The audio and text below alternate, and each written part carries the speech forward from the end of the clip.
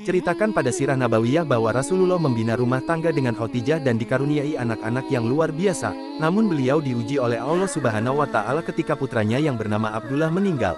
Beliau sangat sedih dan terpukul, karena beliau sangat sayang kepada anak semata wayangnya. Orang-orang kafir Quraisy mengolok-olok beliau, salah satunya Al-As bin Wail, dia sangat senang menghina Rasulullah di hadapan orang-orang. Aptar adalah istilah untuk orang yang terputus keturunannya, karena dari sisi nasab anak laki-laki lah yang meneruskan garis keturunan seseorang. Hal inilah yang membuat Al-As bin Wail memberikan julukan Aptar kepada Rasulullah.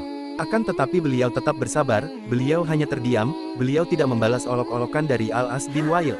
Allah akhirnya menguatkan hati Rasulullah dengan turunnya surah Al-Kausar.